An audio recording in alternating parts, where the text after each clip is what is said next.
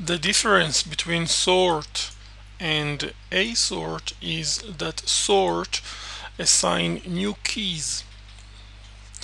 asort keeps the keys. Let's execute this code sample and explain.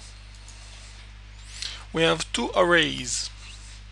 We have the Japan cars and we have the USA cars as you can see we have um, printout before sorting each one of the arrays and then after.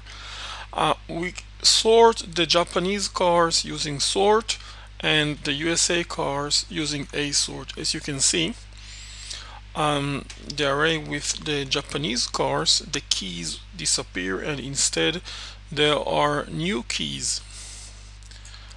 Um, if we check the USA cars array we can see that the keys remain unchanged